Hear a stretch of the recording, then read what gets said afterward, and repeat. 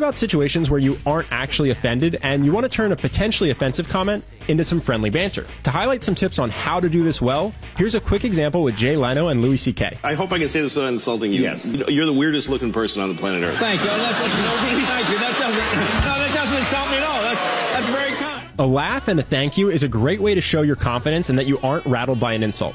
Now watch how Jay follows up. I don't mean that as a no, negative. not at all. It's just Not nobody. I can't describe It's just describe the you. fact that I have a full head of hair. That's what's going on. well, that, yeah, sure. You want to match their insult level. Louis started with a negative comment on Jay's looks, so Jay matches it. If Louis had insulted Jay's shirt and Jay had insulted Louis' weight, that's much more likely to go poorly. When you match their insult level, it's more likely they'll react well, and even if they decide they like to dish it but they can't take it, it makes it very unlikely that anyone else in the group will consider you rude. Did you know that there are five different styles of charisma? If you want to know which style suits you best, go to our profile and click the link in the bio, and you can take a 10 question quiz right now.